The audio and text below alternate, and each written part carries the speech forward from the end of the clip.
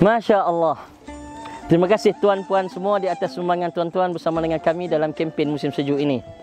Dengan kurniaan daripada Allah Subhanahu Wa Taala, hari ini kami datang ke kem ini dengan membawa 13,000 kilogram birin iaitu bahan bakar yang boleh mampu memberikan kehangatan di kem dan di kemah mereka. Tuan-tuan, 13,000 kilogram birin ini dapat memberikan kehangatan di kem ini saja. Hampir 300 keluarga yang berada di sini.